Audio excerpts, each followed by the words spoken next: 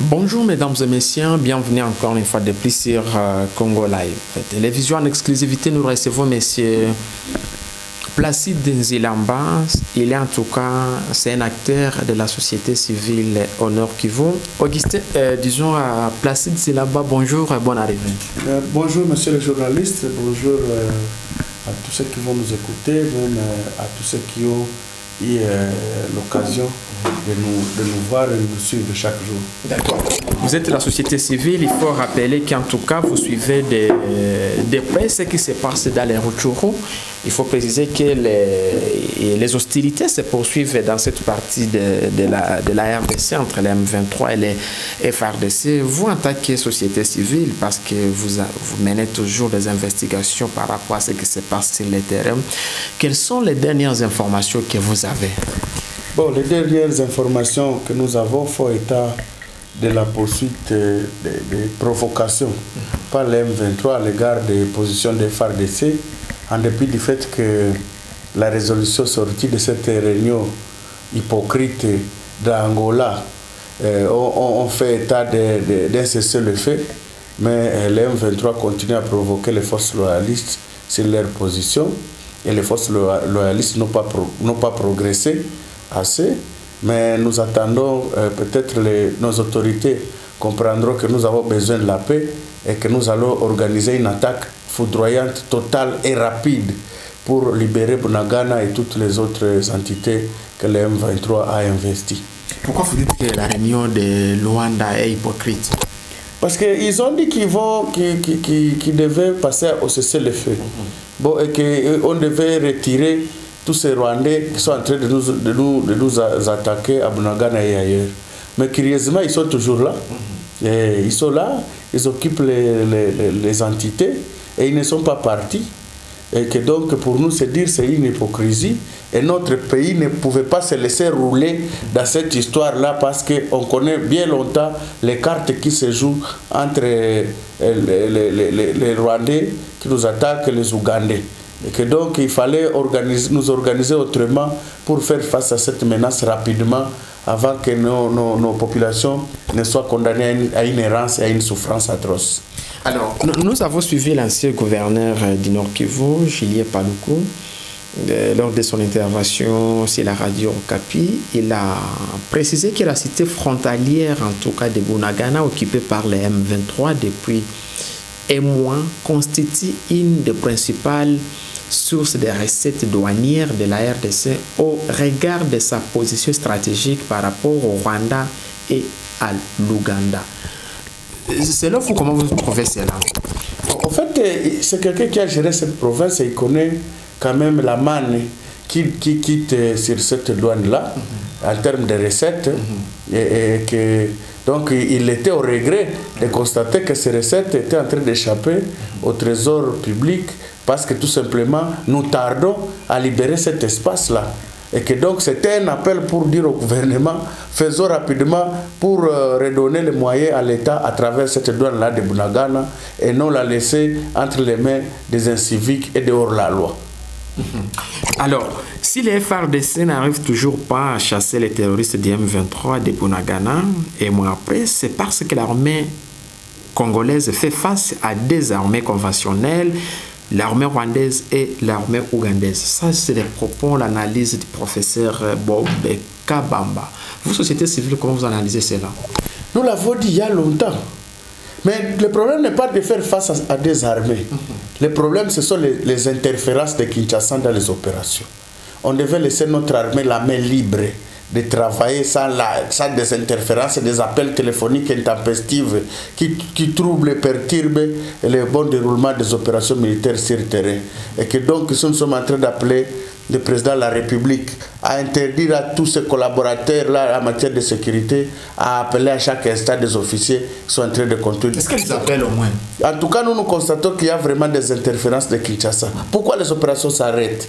Aujourd'hui, oh, ils sont là.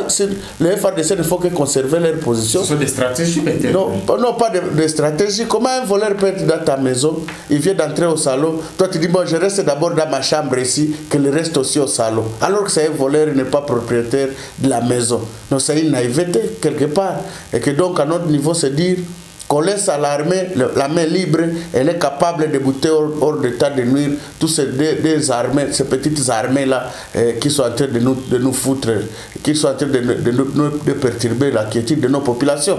Donc, L'armée n'a pas dit qu'elle a échoué à mettre hors d'état de nuire ces, ces deux armées-là qui se sont coalisées pour nous faire du mal. Alors, c'est- quoi les deals normalement de Kigali et, et, et- Kampala dans cette affaire Non, ils ont déjà goûté le miel de, ce- de cet espace. Hein, vous comprenez? Ils ont déjà goûté le miel, il y a des, il y a des minéraux, il y a de tout, il y a des terres, il y a des terres arables. Donc, euh, tout est là. Et que donc, à notre niveau, c'est dire, euh, ils, ont goûté et ils, veulent rester, ils veulent occuper, ils veulent aussi coloniser euh, le peuple autochtone pour se taper du végétariat et commencer encore à aller sur la place, sur l'échiquier international et dire nous avons ça et ça et ça alors qu'ils n'en ont pas. Est-ce qu'on peut dire que la voie diplomatique a échoué pour la RDC, qu'ils font ou bien et qu'il est à dépasser à la voie liée à la guerre? Non, nous devons nous dire ici que la voie diplomatique a un sens lorsqu'on a les dessus sur terrain. Vous comprenez? Si les champs de bataille, si on a perdu, aller sur la voie diplomatique, c'est aller accepter tout ce que celui qui a gagné peut, nous imposer comme, euh, comme caprice. Et que donc à notre niveau, c'est interdire à notre gouvernement d'aller chaque fois dans des réunions, ne sachant pas que les terrains dictent les résultats de chaque réunion lorsqu'on est dans des négociations. Donc c'est se concentrer d'abord à réorganiser l'armée, se concentrer à réorganiser la police, se concentrer à amener tout le nécessaire pour l'armée afin qu'elle mette qu'elle mette hors d'état de nuire tous ces bar- barbares qui viennent nous, nous, nous, nous perturber la quiétude. D'accord. Revenons sur cette déclaration d'un élu provincial, le député provincial Gisley Moufounza, élu en tout cas de la ville de Béni, suggère le recrutement des élèves finalistes au sein de l'armée congolaise pour faire face aux violences meurtrières causées par les rebelles dans l'est de la République démocratique du Congo. Cet élu du peuple l'a fait savoir dans une lettre ouverte adressée au chef de l'État congolais Félix Tshisekedi. Comment vous trouvez cette recommandation, des propositions de ce député provincial Non, en tout cas, ça c'est une proposition de quelqu'un qui se réveille de, l'anesthésie. Parce qu'on ne, peut pas- ne peut pas le dire ainsi. Il est député depuis qu'ils ont été élus, ils sont à l'Assemblée nationale, et il devait déjà passer à l'aspect programmatique. Est-ce qu'ils ont déjà voté la loi sur la programmation militaire? Non. Mais ils commencent à dire non, il faut, il faut prendre tous les élèves. Est-ce qu'ils ont disposé le budget de l'armée? Quand ils ont voté le budget, est-ce qu'ils ont voté les moyens pour qu'on on procède à ces recrutements-là? Non. Donc c'est comme quelqu'un qui se réveille de l'anesthésie et commence à dire ce qu'il pense, ce qui, ce qui, ce qui vient- lui vient en tête. Non, on doit être concret. Il est député. Il devait procéder par les moyens parlementaires, dire, OK, nous, nous votons d'abord un budget, euh, nous allouons d'abord à- à la- à la- au secteur de la défense un budget conséquent. Mais il faut voir quel est le budget de la défense ici au pays. C'est un budget misérable, modique. Et que donc, il devait commencer par là et puis voter la loi sur la programmation militaire. C'est à partir de cette loi qu'on devait savoir, on va former combien de, combien de, de militaires euh, pendant combien de temps. Mais il s'est réveillé et dire les, les élèves finalistes devaient aller en formation. Ils vont aller en formation avec quel moyen? Que lui-même n'a pas donné à, à- à l'État pour que l'État pour, pour que le gouvernement procède maintenant à ces recrutements rapides des finalistes. Non. Donc on peut Je- dire que c'est une sortie ratée. c'est très raté, je vous dis. On doit observer les choses en face avec, avec beaucoup de- de- de- de- de- de- d'attention et non venir parler et croire que c'est ce qu'on a dit, c'est presque réel. Non. Parce que moi, je vous dis, tout passe par le Parlement. S'ils ont disponibilisé un budget conséquent, on va recruter. S'ils n'ont pas, pas disponibilisé le budget, on va le faire avec quoi? La loi sur la programmation militaire peine à être votée, je vous dis, depuis qu'ils sont au pouvoir. Lorsqu'ils sont arrivés au pouvoir, ils devaient déjà commencer par quoi? Par, par faire, faire, faire des, des- des projections. Ces députés-là. Oui, oui, et dire, ok, nous voulons que dans le programme du gouvernement, nous, nous allons le valider si ce programme prend en compte les aspects de la défense. Comment on peut avoir une étendue immense comme ça, avec toutes les richesses qu'on a, mais oublier de, de- de- de- forger une défense solide pour se protéger contre tous ces voleurs qui viennent de, de partout dans le monde? Non, je crois qu'il a raté sa communication, il devait nous laisser un peu au lieu de nous distraire parce qu'il a échoué son travail. D'accord, c'est vous qui le dites. Et revenons sur cette alerte, Monsieur Zelamba. La jeunesse ougandaise est recrutée par les M23 pour mener la guerre en RDC, a révélé le commissaire du, district de Kisoro. Ça, c'est en Ouganda. Comment vous, société civile, vous, euh, euh, disons, comment vous analysez cette alerte? Non, c'était une manière tout simplement de nous dire qu'ils étaient dans les deals aussi. C'est ça Oui, oui, c'était la manière de l'Ouganda de Mais c'est eux qui alertent. Non, ils alertent, mais ils sont déjà dans les deals. C'est c'est comme, comme dire non. Je vous dis que je vous informe que le bandit est déjà dans votre maison alors que vous l'avez laissé passer, entrer dans ma maison. C'est une distraction. Donc, ils savent jouer avec notre psychologie, faire semblant de démontrer qu'ils sont encore en loyauté avec la RDC alors que tout est déjà au, chaos et que donc notre chef de l'État, notre gouvernement devait prendre d'autres initiatives au lieu de compter sur l'Ouganda parce que c'est une distraction. Nous, on n'a- jamais compris les positions que nous prenons face à cet État-là. Mais les Rwandais et l'Ouganda, c'est un mariage pour le meilleur et pour le pire. hein. Ils ne vont pas nous laisser la paix, ils sont toujours ensemble. Même ici, il faut, ils peuvent faire semblant, dire moi j'aime là-bas. C'est comme dire, toi va distraire là-bas, mais moi je serai en train d'attaquer et tu vas m'aider. Non, je crois que notre gouvernement devait avoir un regard plus particulier et ne pas faire confiance à tous ces gens-là. Forgeons notre armée rapidement recrutons pas les finalistes. Il y a des jeunes volontaires qui ont besoin d'aller à l'armée. Recrutons, faisons un programme sérieux, un plan sérieux la réforme de notre secteur de défense et de sécurité. Et nous aurons la paix. Même si ils recrutent tout l'Ouganda, ils viennent, quand ils trouvent une armée solide, ils vont rentrer toujours par, par, par mille chemins. Il y a plusieurs questions que les Congolais se posent par rapport, il faut dire que ces derniers temps, on observe, on voit en tout cas des présidents rwandais multiplier des sorties médiatiques avec les, les médias internationaux. Et quand ils se prononcent, euh, ils parlent toujours de la question de l'Est. Qui- Est-ce qui explique euh, toutes ces sorties médiatiques, M. Zelamba Bon, c'est une agitation. Il est agité, il a été pris les, les mains dans les sacs. hein. Hum, C'est une agitation, lui-même c'est. Il est agité. Les Congolais lui ont fait parler. Ah, Auparavant, il était gentleman, il ne parlait pas, donc beaucoup de confidence. Mais il comprend que les Congolais ne sont pas moindres. Il commence à parler comme les Congolais chaque semaine. Il a une communication comme les Congolais, alors que les Rwandais disent Oh, les Congolais parlent trop. Mais comme le chef de l'État, leur chef de l'État commence aussi à parler trop. Parce qu'il est malmené par cette question, effectivement. C'est parce qu'il est attaqué par les Congolais. Effectivement, effectivement, nous devons quand même démontrer à la face du monde que c'est les Rwandais qui, qui, qui, se camouflent euh, derrière les M23. Et nous avons des preuves, nous les avons exhibées ici devant les mécanismes les conjoints de vérification. Nous avons montré des preuves qu'on a attrapées sur le terrain, même des individus. Donc euh, voilà pourquoi il est agité. Le monde entier a su que c'est lui qui perturbe la paix et la quiétude ici. Et comme on a touché les intérêts qu'il avait ici, qu'il venait d'obtenir par des voies aussi frauduleuses, euh, donc il, il est agité. Vous agité. dites, des éléments de preuve euh, euh, montrés même au mécanisme euh, de vérification de la CIRGL. Mais, mais M. Zilamba, souvent, ça fait longtemps en tout cas que la RDC alerte, accuse le Rwanda. Souvent, il y a même des militaires arrêtés, oh, des militaires rwandais arrêtés sur les sols congolais, du coup remis à travers les mécanismes conjoints de vérification de la CIRGL. Mais jamais on- on a suivi ou bien on a vu un rapport euh, s'il des sanctions ou bien qui condamnent les Rwandais euh, à travers toutes ces organisations que la RDC fait partie avec les Rwandais. C'est quoi le rôle réellement de la CIRGL dans tout ce qui se passe dans cette partie est du pays? Bon, c'est une organisation à laquelle nous appartenons.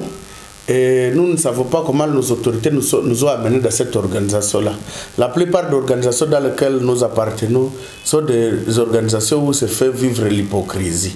Et on y adhère de bonne foi, hein, mais parfois nous recevons les, revers de la médaille. Et c'est pourquoi nous, nous avons demandé au président de la République de ne plus nous engager dans des mécanismes ou dans des, dans des organisations régionales sans bien étudier les tenants et les aboutissants. Il nous a amené aussi dans l'East African Community. Nous ne l'avons pas demandé. Il devait consulter C'est pour l'intérêt des Congolais, mais c'est Non, cela. en tout cas, ça, on ne trouve pas notre intérêt là-bas. C'est une distraction. Ça, je vous dis. Il est vrai que nous ne vivrons pas à, à état isolé. C'est pourquoi nous y allons. Mais il y a des préalables pour y aller. Le chef de l'État devait se rassurer que nous avons déjà une économie forte. Nous avons aussi euh, euh, un secteur de sécurité et de défense bien organisé. Nous avons un secteur judiciaire fort aussi. Nous avons aussi la gouvernance locale qui est bien assise. Là, nous pourrions y aller. Mais aller, aller comme ça, ngoulou ngoulou, hmm, nous, nous allons perdre tout et nous allons nous ridiculiser d'ailleurs plus davantage dans ces organisations où l'hypocrisie prime surtout. D'accord. Alors revenons chez nous pour peut-être finir avec cette question. On, on a vu les générales Philémon Yave qui a pris les bateaux des commandements des opérations au Nord Kivu. Qu'est-ce qu'on peut espérer? Parce qu'on connaît le général Yave aussi parmi les vaillants militaires FRDC en tout cas. Euh, Qu'est-ce qu'on peut espérer de lui, M. Zilamba? Non, d'abord il faut dire qu'il a pris le, le commandement sous des informats que nous, nous, ne comprenons pas. Comment quelqu'un, de l'État a signé une ordonnance pour conférer à- à- à- au gouverneur Constant Dima quoi, le commandement des opérations. Mais du coup, par un message seulement, si c'est phonique, si c'est un message comment, on ravit les, les compétences. Tu, tu vois, ça c'était. Nous, Il y a eu un communiqué officiel quand même. un communiqué officiel ne casse pas quand même une ordonnance. On doit quand même se respecter dans la suprématie des actes. On- au moins, une ordonnance, c'est un acte plus supérieur qu'un communiqué. Ah, mon cher, si dans un État on gère un secteur de sécurité par de tels sentiments ou de tels agissements, nous nous pensons que c'est vraiment compliqué. Mais je pense qu'aujourd'hui, le, le- le plus important, c'est chercher comment avoir la paix et la sécurité dans cette partie. Mais on ne l'aura pas aussi longtemps qu'on ne respecte pas même les principes pour l'avoir. Vous comprenez? On ne refuse pas. Le général il avait travaillé ici, il était colonel ici. Et il avait même une unité ici, il a travaillé. Il a un fait, combattant. Oui, il a fait un grand travail ici au Nord Kivu. Et c'est la raison pour laquelle même il a été primé en grade comme il est devenu aujourd'hui. Mais dans la procédure d'octroi de ces compétences-là, qu'il veut assumer aujourd'hui, nous disons qu'il y a eu quand même des erreurs.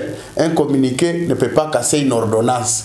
Donc le chef de l'État allait faire bon, bon, loi en- signant une autre ordonnance qui ravit Non, ça va venir après. qui ravit les compétences des, des commandants des opérations au gouverneur Constant Ndima. Mais comme il a fait chez Constant Ndima, et que Constant Ndima et l'autre, tous avec des ordonnances signées par le chef de l'État, bon, il va le faire aussi à Nitouri par un communiqué ou comment? Donc nous, nous, on dit vraiment, bon, on lui souhaite bonne chance et nous, nous sommes derrière. Nous allons l'aider, nous allons accompagner le général Yav, c'est un habitué d'ici, c'est notre, notre compatriote. Nous allons l'aider euh, à atteindre les objectifs de nous ramener la paix rapidement. Et nous pensons que lui qui maîtrise bien le terrain, il aura à, faire. Mais nous, nous conseillons à Kinshasa de bien euh, chaque fois euh, réfléchir sur les actes qu'on veut poser. D'accord. Alors pour finir, on a vu ces derniers temps plusieurs groupes armés multiplier aussi des déclarations pour euh, donc des déclarations le sens de soutenir les FARDC et, dire qu'ils sont prêts en tout cas de travailler avec les FRDC dans le même objectif, un seul objectif de mettre fin à cette aventure M23. Selon vous, est-ce que c'est reporté que les FRDC coalisent avec ces groupes armés? La fois dernière, nous avons suivi la déclaration du général autoproclamé Karaïr Janvier de la paix céleste, l'homme fort des massifs, il faut le préciser. On a suivi aussi un autre groupe armé qui, dans à travers une audio, dans les, disons, Ouvira, presque dans les mêmes objectifs. C'est quoi votre analyse pour finir, M. Zila Non, il faut dire que bon, s'ils se reconnaissent compatriotes et disent qu'ils vont aider les FARDC, bon, en tout cas, nous ne trouvons pas d'objection, mais il faut dire qu'ils doivent aider les FARDC quand ils sont FARDC. Aussi longtemps qu'ils s'appellent groupe armé, ils ne peuvent pas quand même eh, s'arroger la latitude d'aller aider les FARDC. Les FARDC ont cessé d'être un conglomérat de groupes armés.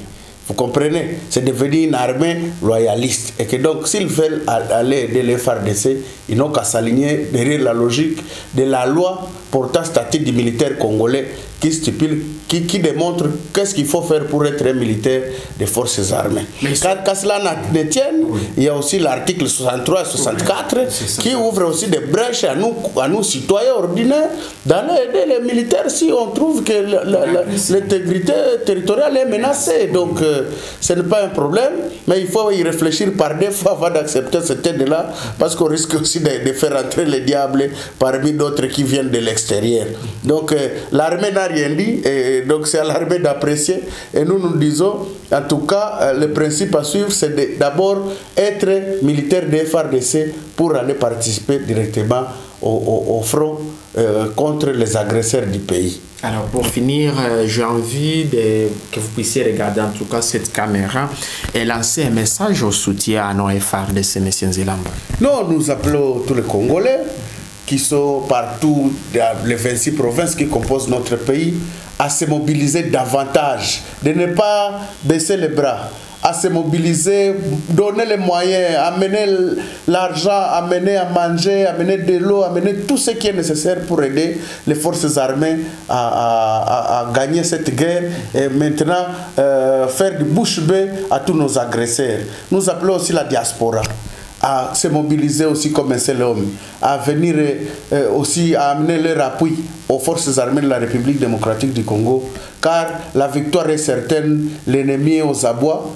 et, et nous savons que si nous, nous continuons avec cet élan, nous allons gagner cette guerre, et ça sera une fois pour toutes. Donc, euh, tous les Congolais partout ils sont, des quatre coins du pays, et tous ceux qui sont dans la diaspora à l'extérieur partout, qu'ils se mobilisent, qu'ils se cotisent pour qu'on amène tous les nécessaires à notre armée. Merci beaucoup Nzilamba. On va se quitter par euh, votre numéro de téléphone si vous voulez bien pour ceux qui veulent peut-être vous joindre au téléphone, vous appeler, euh, partager avec vous vos analyses en dehors de Congo Live. C'est- mon numéro c'est plus 243, comme tout Congolais qui se respecte.